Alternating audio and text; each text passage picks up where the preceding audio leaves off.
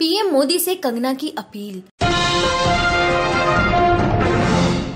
पुलवामा में 14 फरवरी को हुए आतंकी हमले को लेकर बॉलीवुड की खूबसूरत अभिनेत्री कंगना रनौत का अब रिएक्शन सामने आया है।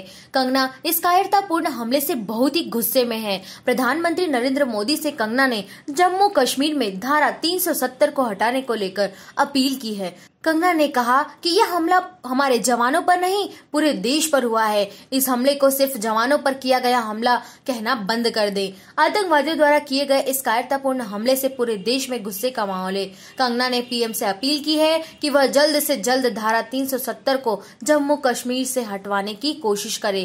कंगना ने आगे कहा है कि यह हमला देश के एक एक नागरिक पर हुआ है। इस तरह श्रद्धांजलि देने से पहले सोचे, यह हमला हम पर हुआ है। उन्होंने कहा कि देशवासियों में गुस्सा जायज़ है, लेकिन इस वक्त कुछ और भी करने की ज़रूरत है। इसके अलावा कंगना ने आगे कहा कि देश को इतना वक्त हो गया आज़ाद हुए, लेकिन फिर भी लोग नहीं समझ पा रहे हैं कि किस देश से कश्मीर का रिश्ता है। इस वक्त पूरे देश को एक होने की आवश्यकता है।